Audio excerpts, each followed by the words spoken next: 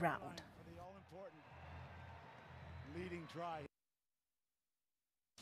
Tusker FC look to complete the job on Sunday when they take on CS Sfaxien in a do-or-die CAF Confederation Cup playoff round tie in Tunisia. The players had their first training session in Sfax after a journey of close to 24 hours.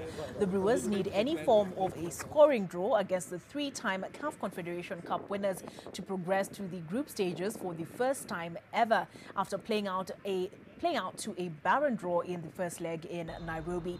Kickoff will be at 8 p.m. East African time. Elsewhere, Gor Mahia look to overturn a 1-0 deficit to Otoho d'Oyo of Congo at the Nyayo National Stadium in the second leg of the same competition. The Football Kenya Federation Premier League is also back after three weeks suspended.